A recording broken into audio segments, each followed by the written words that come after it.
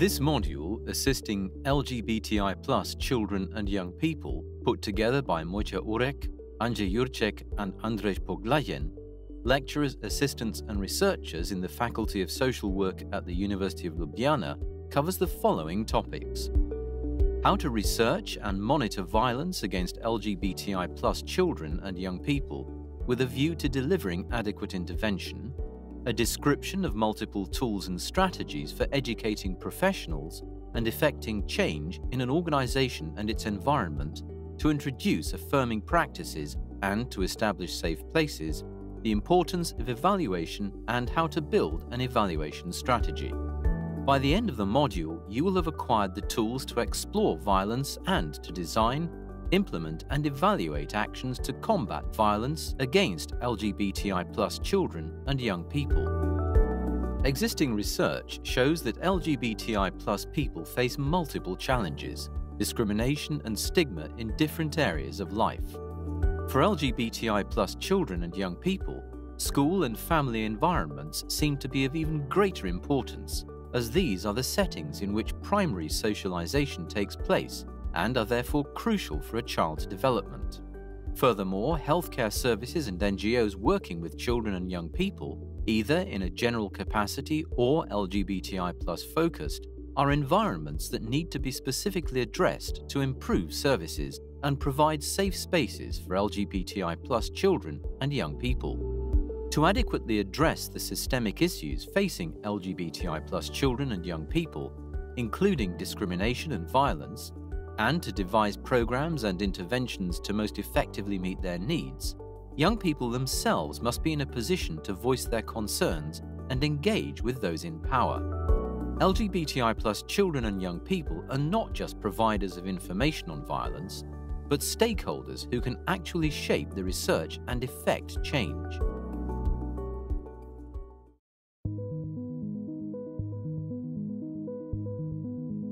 Violence related to homo, bi, trans, and interphobia in general remain largely unaddressed by national, European, and international institutions, partly on account of the lack of data on violence motivated by hatred against LGBTI people. The same, if not worse, applies to LGBTI children and young people. Documenting the occurrence of incidents of violence owing to homo, bi, trans, and interphobia is therefore a crucial step in advocating for better legal protection from such crimes and violence. Data collection can be carried out by different actors public actors, the judiciary system, the police and human rights institutions, or LGBTI NGOs and human rights NGOs.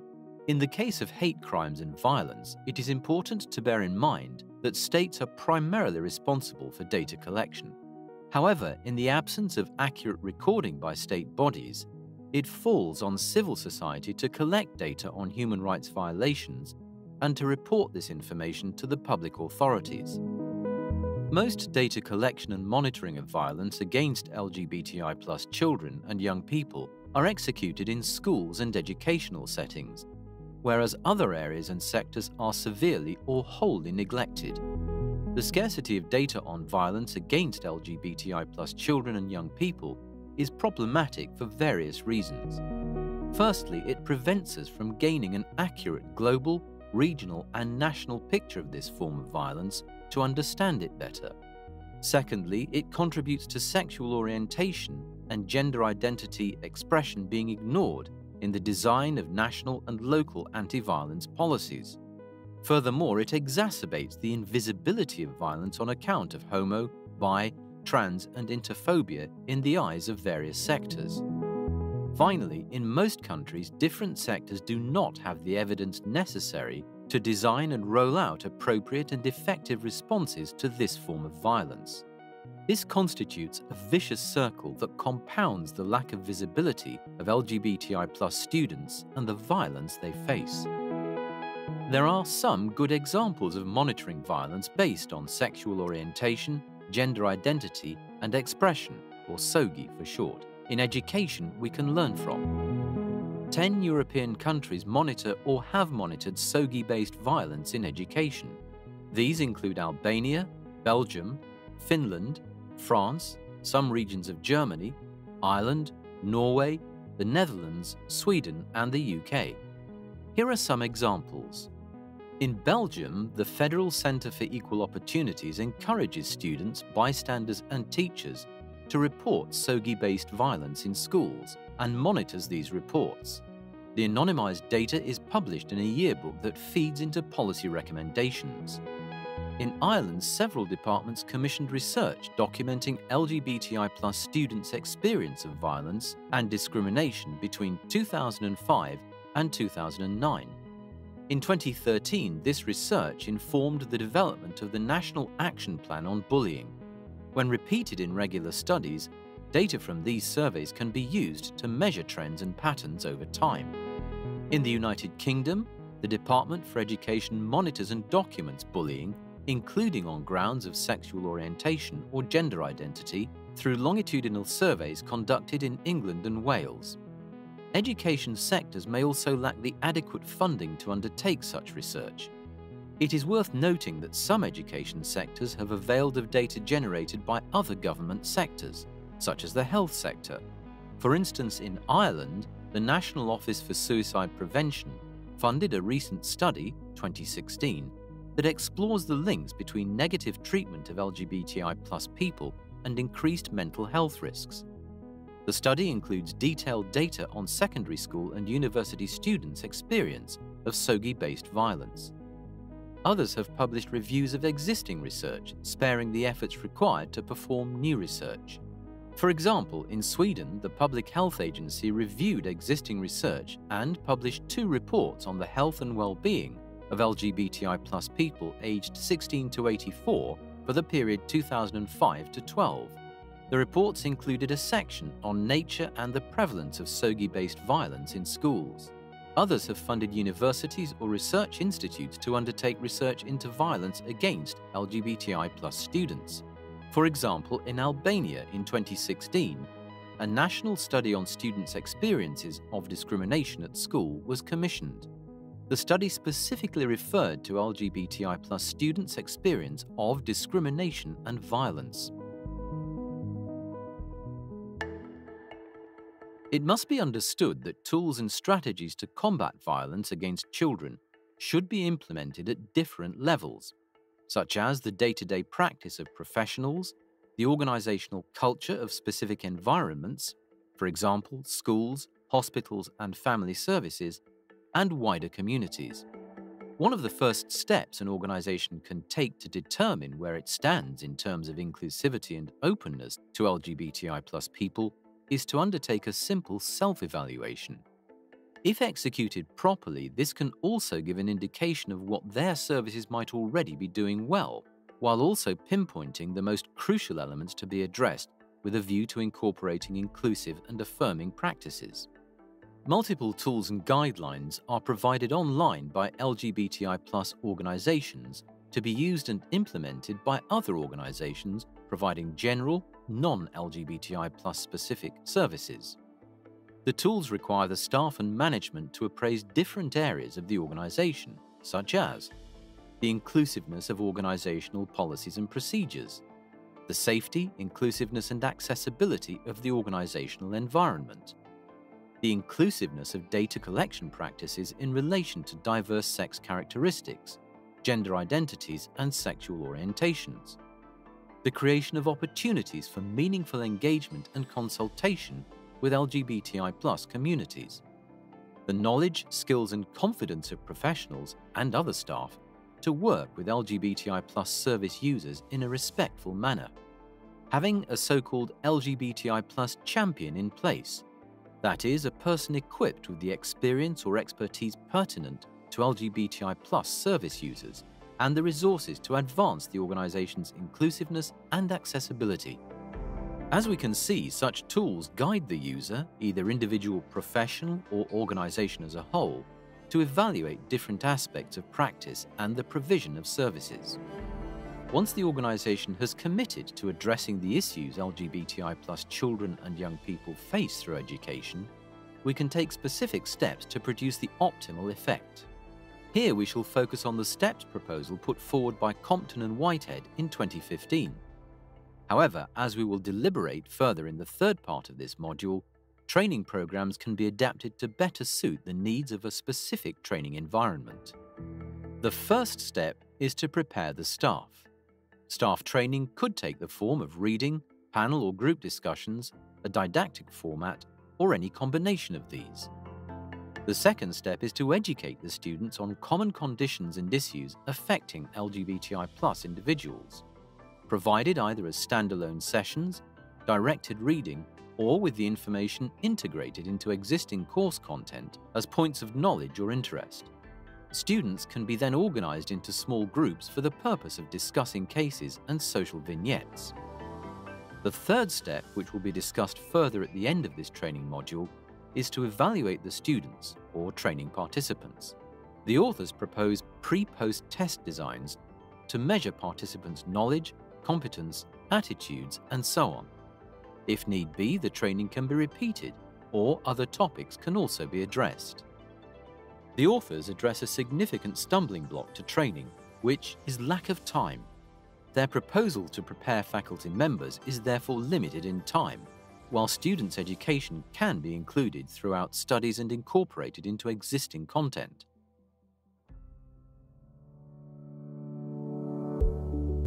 Supporting and addressing families with LGBTI children and young people. Up to this point, we have focused extensively on organisations, professionals working with LGBTI children, and young people and the local or national context that needs to be considered. Nevertheless, since we're talking about LGBTI children and young people, another significant factor in the provision of supportive environments are their parents, families, guardians, and or other significant others. Services and professionals that come into contact with families with LGBT plus children and young people should also be able to support them and to tackle challenges they might be facing if need be. As you have heard in previous modules, Families are the setting for primary socialization and are thus important for a child's development. They can also be a place of violence and neglect, which is even more common if a child is in any way non hetero and cisnormative. Family services and other professionals who come into contact with parents and primary guardians of children and young people should offer material with valuable information in case family members are struggling with a child's identity or with the process in which a child is trying to explore different identities. It's important for parents and children to realize that acceptance is a process that involves the entire family. Just as it takes time and support for LGBTI children to understand and accept their identity, this also applies to their families. The following are some basic guidelines that can be given to parents and families of LGBTI children and young people parents and families must play an important role in providing safe spaces where their child can explore interests without judgment or stereotypes and can support diverse friendships and social involvement without focusing on expectations around gender. Engage in conversations and check in regularly with their children about their interests, groups of friends, romantic attractions, and any bullying or teasing that may be taking place. Respond in an affirming, supportive manner when their child discloses their identity, and understand that although gender identity cannot be changed, it is often revealed over time as children and young people discover more about themselves. Accept and love their child as they are, and try to understand what they're feeling and experiencing. Stand up for their children when they're mistreated and not in any way minimize the social pressure or bullying the child may be facing. Be on the lookout for danger signs that may indicate a need for mental health support, such as anxiety, insecurity, depression, low self esteem, and any emotional problems in their child and others who may not have a source of support otherwise. Help connect their child with LGBT organisations, resources, and events. It is imperative that they know that they are not alone. Celebrate diversity in all its forms provide access to a variety of books, films, and materials, including those that positively represent gender diverse individuals. Support their child's self expression. Engage in conversations with them around their choice of clothing, jewelry, hairstyle, friends, and room decorations. Reach out for education, resources, and support if they feel like they need to further their own understanding of LGBTI plus youth experiences. Professionals working in the field of family services can and should always connect service users with local resources such as LGBTI plus organisations that offer extensive information and services.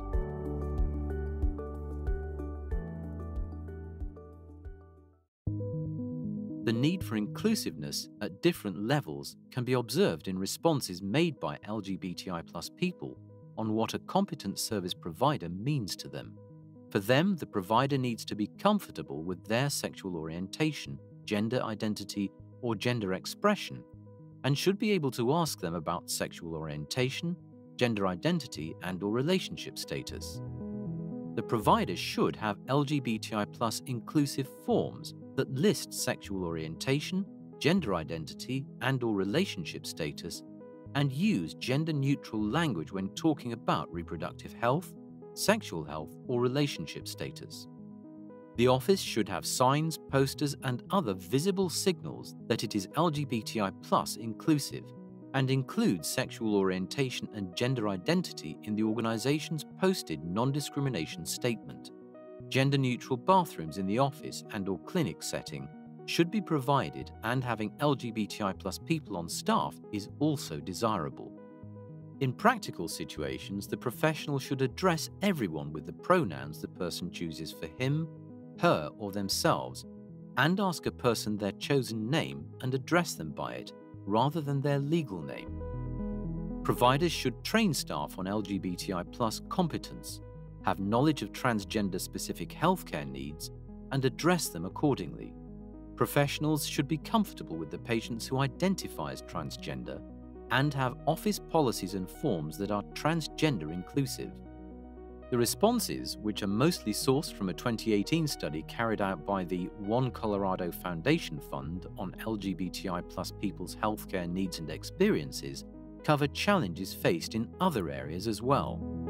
Another interesting part of the responses, which are similar to those gathered in research within the Diversity in Childhood Project, is that they do not only address professionals' conduct, but also convey how environments or organizations themselves should visibly convey their LGBTI inclusivity. The main purpose of providing professional development activities regarding LGBTI children and young people is to help create safer and more affirming environments for this population. So the question is, how can LGBTI plus inclusive, safe and affirming professional practice be executed the best way to reach professionals is to present and include LGBTI plus training as part of their professional development. It should not be forgotten that the provision of adequate care and services based on an individual's needs is an ethical duty of professionals in any area of work. Furthermore, there is extensive supportive research and evidence. The challenges and needs of LGBTI children and young people can therefore in no way be minimalized, overlooked, or neglected. Based on the length and type of training, such as online, in practical settings, or in a classroom, the training differs in content, size, approach, and teaching method employed. More often than not, training uses didactic methods with a focus on the basics, such as LGBTI plus terminology, history, stigma, and challenges faced by LGBTI plus people. Nevertheless, as the aforementioned example shows, training can be focused on specific issues, such as tackling LGBTI plus bullying and other anti-LGBTI plus behavior. Furthermore, research has demonstrated that simple didactic teaching can be used to enhance professionals' knowledge and mindsets. That said, in order to achieve a more lasting and greater impact on participants, using different methods is usually the best approach. For example, personal stories of LGBTI people can be used, either as a real-life example in the form of a recorded video, scripted film or documentary, or even presented in person through a personal narration or theatre experience. It has been proven in the past that this bears a greater impact on participants' mindsets and empathy and heightens the importance of the training in the eyes of the participants. Now let's take a look at LGBTI plus training content. Professionals taking part in training have different levels of knowledge and experience of working with LGBTI plus people and addressing their needs in a competent manner. For this reason, their training should include both basic contents and specific topics relevant to the area of work. Most often than not, training includes definitions, language, facts and assumptions related to LGBTI people, including the effects of heteronormativity and cisnormativity, history of LGBTI movements, including discrimination and stigma in the past and today, issues faced by LGBTI people in everyday life, and especially barriers to accessing social, health, and other services, interpersonal and systemic bias, policies relevant to LGBTI people, and strategies for enhancing professionals' knowledge and improving access to services. Some programs that focus more on the field of healthcare services can also concentrate on HIV/AIDS, mental health, especially depression, anxiety, substance abuse, and suicide, which are statistically more prevalent in LGBTI communities, barriers to accessing healthcare services, sometimes with a specific focus on trans health, and providing culturally competent healthcare. Issues faced by transgender people are sometimes addressed in a separate part of the training, since it is a lesser known and thus more challenging topic to comprehend for professionals. What's more, content focusing on bisexuality and intersexuality is much less common. The aforementioned training might also include topics such as intersecting of identities and intersectionality, relationships and families of LGBTI people, domestic and sexual violence.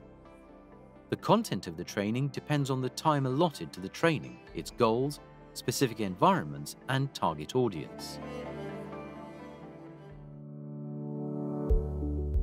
By now, we have mentioned multiple times that besides providing training to staff, the environment itself needs to change in order to be welcoming to LGBTI children and young people. Most of the places we visit, might it be schools, libraries, stores, family associations, hospitals, and so on, are all laden with content that is heteronormative and cisnormative. The media, as well as advertising in newspapers, on television, and in the streets, mostly show straight relationships, nuclear families with a father, a mother, and children. These images are presented as a norm, the only normal way to live and love. Therefore, in addition to offering training to employees, organizations should also think about what kind of image they convey to the world. How do they present their services? Who do they target with their marketing tools? Brochures, posters, advertisements, etc. Are the people and cases presented in these materials diverse? Do they show diverse family structures and people of different gender expressions, identities, ethnicities, and abilities? Do they reflect children they're working with? Do children and young people have positive role models in their environment, in their literature, for example? Does the organization convey inclusiveness and a safe space for LGBTI plus children and young people? Does the organization have gender neutral bathrooms? Answering these kind of questions might help the organization understand whether their current practices are either A. hostile and convey explicit negative messages, B. non inclusive with implicit negative messages, C. inclusive with implicit positive messages, or D. affirming conveying explicit positive messages. In other words, does the organization convey messages that reinforce harmful gender stereotypes, or are their practices gender transformative in a manner that extends beyond the heteronormativity, cisnormativity, and gender binarism? These are just a few questions an organization can answer to determine whether their environment is LGBTI affirming.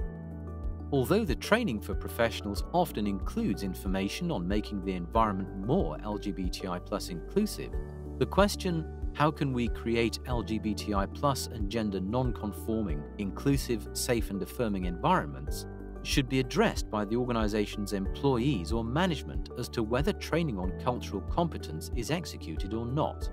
The following is a list of changes and actions organizations can undertake in their environment with a view to conveying a message of inclusiveness and LGBTI friendly spaces. 1. Organizations should develop non discrimination policies that include gender identity, sexual orientation, gender expression, and sex characteristics.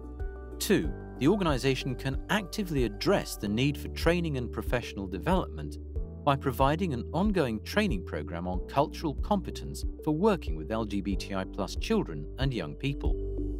3.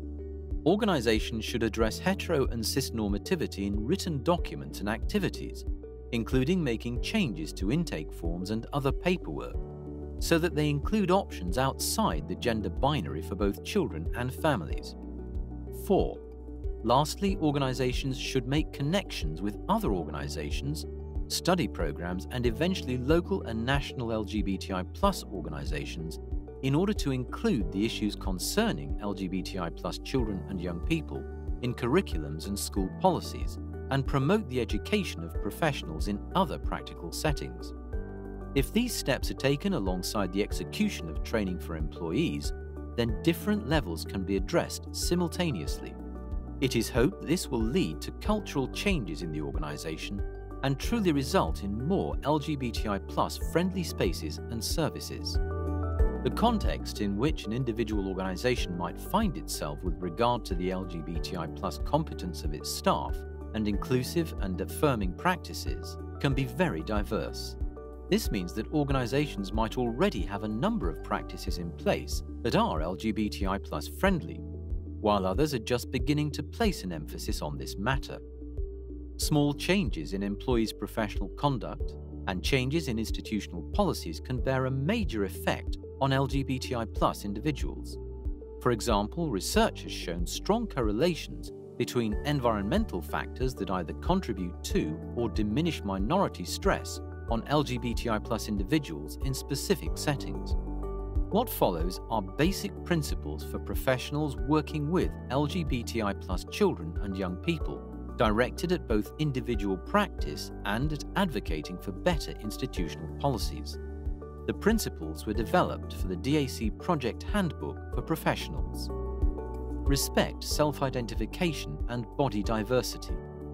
A person's sexual orientation, gender expression, gender identity, and or sex characteristics should not be assumed on the basis of appearance recognize and understand that sexual orientation, gender expression, gender identity, and sex characteristics are distinct and not necessarily connected, and be able to differentiate them when working with LGBTI people and people in general. Understand that gender is a non binary construct that allows for a range of gender identities, and that a person's gender identity may not align with their sex assigned at birth. In addition, a person's gender identity may or may not be included within the gender binary. Professionals should use the names or pronouns someone uses or suggests with their self identification and should not insist on the use of people's names written in their official papers. Professionals should not consider the exploration of sexual orientation or fluidity of gender expression and gender identity to be symptoms of disorders or an indication of psychopathology. Under no circumstances should professionals recommend that trans and or intersex children and adolescents undergo non-consensual medical procedures that can be postponed until the intersex person can decide for themselves and give fully informed consent. The exception to the rule only applies to interventions necessary to save the life of the intersex newborn, child, or adolescent. Recognize that stigma, prejudice, discrimination, and violence affect the health and well-being of LGBTI and gender non-conforming people as well as the effects of institutional systemic barriers such as discriminatory legislation on the lives of LGBTI people.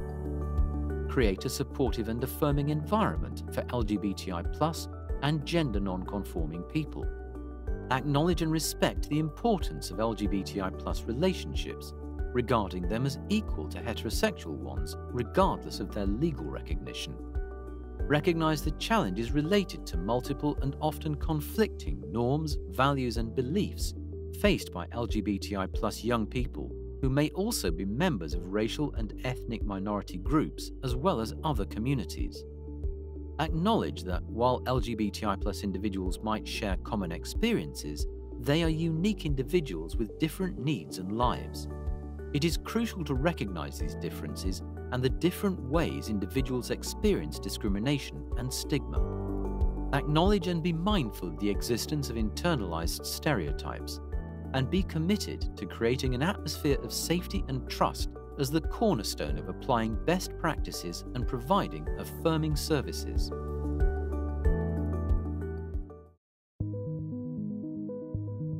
In order to gain a clearer picture of possible activities, strategies, and resources to be employed when addressing issues concerning LGBTI children and young people, we present a number of good practices compiled at the outset of our Diversity in Childhood project. Education.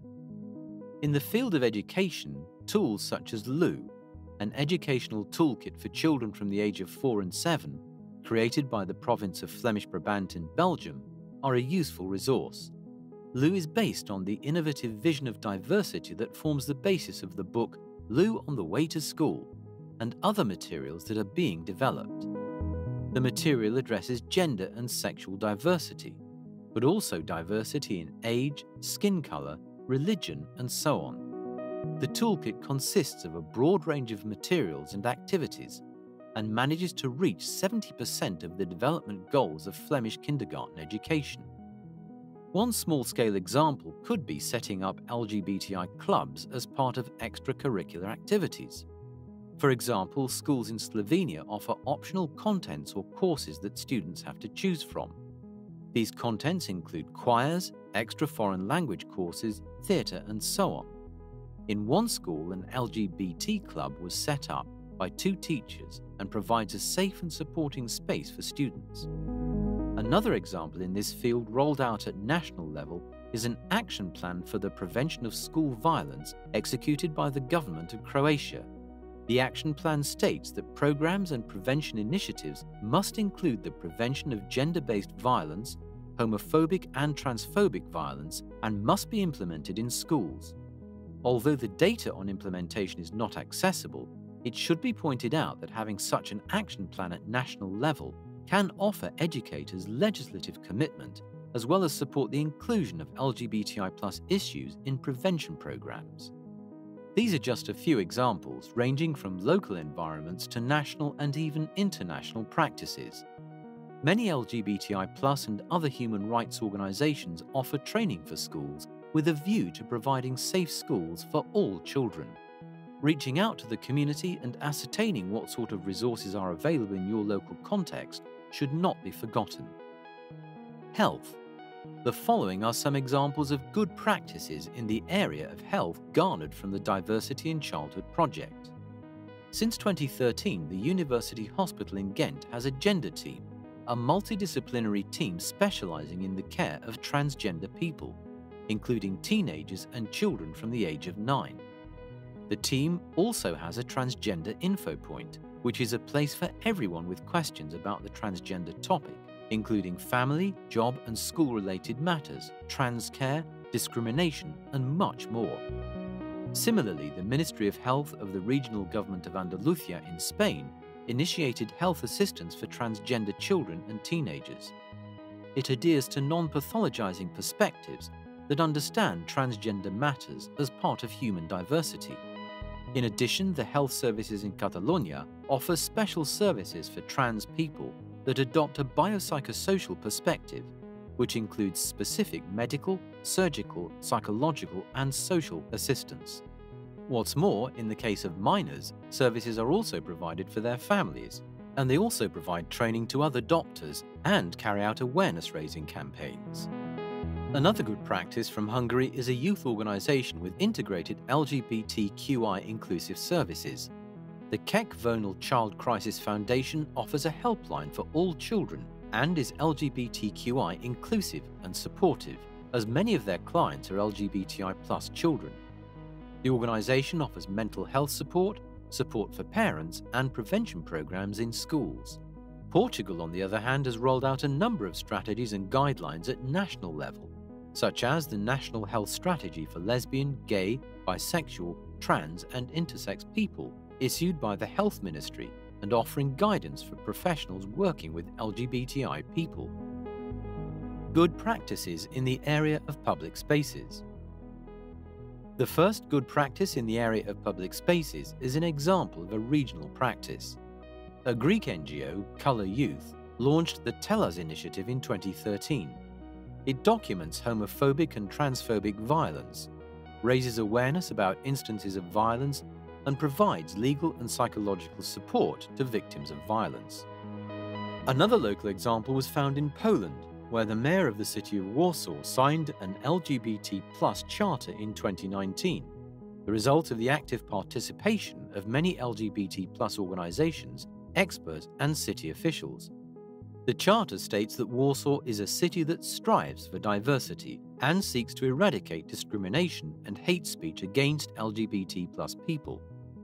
The charter also provides guidelines for future action in areas such as safety, education, culture and sports, work and administration.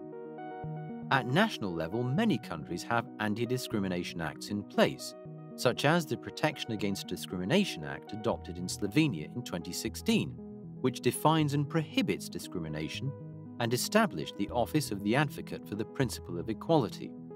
The Office has the option to perform an inspection of specific cases in which there is reason to believe individuals faced discrimination in other countries or regions, such as the case of Catalonia in Spain, the regional government passed a law that specifically guarantees the rights of LGBTI people and strives to eradicate homo, bi, and transphobia. The law addresses topics such as school, educational, and training materials that must consider diversity, the prevention of school bullying, prevention and supportive measures for young people in vulnerable situations, training for parents, sports and leisure activities, and so on. Good practices in the realm of the family. The aims of the good practices presented here are to make families with LGBTI plus parents visible and to support parents of LGBTI plus children and young people. The first example is a picture called My Rainbow Family, produced and distributed by the Rainbow Families Association in Croatia. The book seeks to strengthen the social integration of children with same sex parents and to promote tolerance and respect for diversity. An example of how to provide information and support for parents can be found in adapting publications issued by LGBTI and other human rights associations to your local language and adding useful local resources.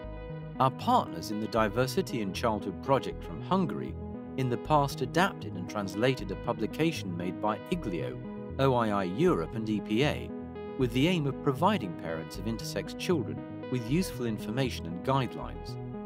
Unfortunately, the family environment can, on occasion, be a place of violence for LGBTI children that can sometimes lead to homelessness.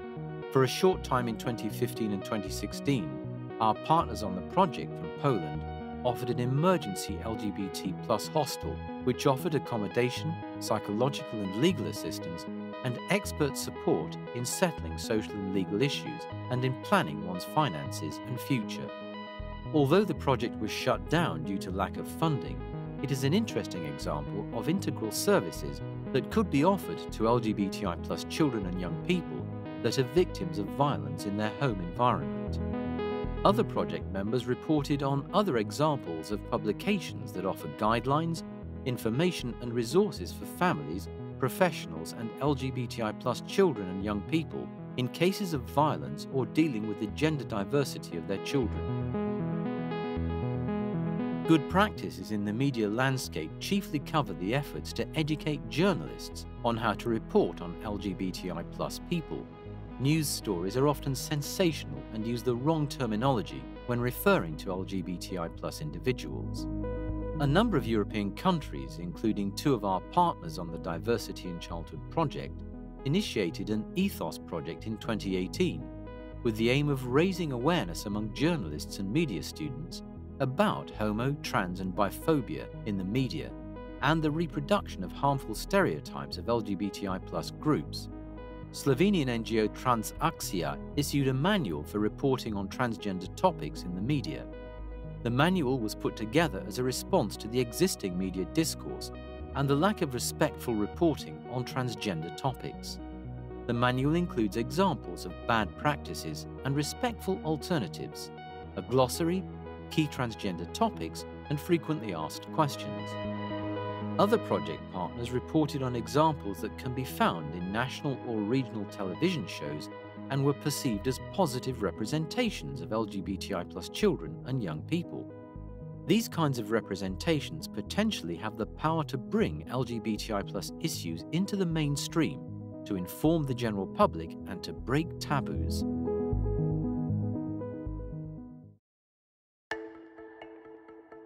How can we begin building our evaluation strategy today at an individual or organisational level? One of the best starting points is working on one's self reflection. The basic goal of self reflection is to turn inward, to contemplate situations and be present to the thoughts that arise. Walking, running, sitting down, or writing is an excellent way to practice self reflection, and there is no rule as to which form of self reflection will work best for you. Engaging in all of this reflection enables us to create meaning from our experiences meaning becomes learning, which can then inform future mindsets and actions. In terms of evaluation, this meaning making is crucial to our ongoing growth and development. Another important step would be to work on broadening your repertoire of evaluation strategies. It is important to keep in mind that the whole evaluation process is less about coming up with a perfect strategy than about finding one that best suits the content or the situation you are faced with. The outcome is usually also the best when choosing a strategy, one you are most comfortable with. So, draw on your repertoire of strategies and figure out whether a checklist, a pre and post test, a concept map, an experiment, an interview, etc., is the strategy that best aligns with the content, the subject's preference, and is the one you are most comfortable with. The same could be said for evaluation at the organisational level. It would be good to begin addressing inclusiveness practices, such as inclusive language on questionnaires, forms, and in communication in general. The other element to assess would be visibility. Do hallway, classroom, and or office images show diverse family structures, as well as people of different gender expressions or identities, sex characteristics, ethnicities, and abilities? And is the overall institutional climate positive and inclusive, or is it overrun with heterocisnormativity? The easiest way to do all the above would be to resort to checklists and guides compiled by various LGBTI plus societies that help people and institutions make the first step towards a more inclusive society. As we have seen through this presentation, actions addressing issues facing LGBTI children and young people can be very diverse and implemented at different levels. The local and national contexts are key. Actions cannot be rolled out without taking the environment in which they are undertaken into account. Even then, we cannot be sure that actions taken by professionals or organizations will result in the expected outcome and address the needs of LGBTI children and young people. The actions executed, therefore, need to be constantly appraised improved and updated to bring about the optimal effect and afford LGBTI individuals the necessary support. We have now reached the end of our module. Now it is up to you to transfer and apply the knowledge gained over the whole course to your practice. We hope you have now learned how to research and monitor violence against LGBTI children and young people have gleaned knowledge on how to implement intervention actions to combat the aforementioned violence, and have ideas on how to strive towards constantly improving your practice, be it as a parent, a teacher, a healthcare professional, a person working in the media, or with the general public. We encourage you to engage in self reflective behavior and also to check out the additional resources provided to get you started. Thank you for listening.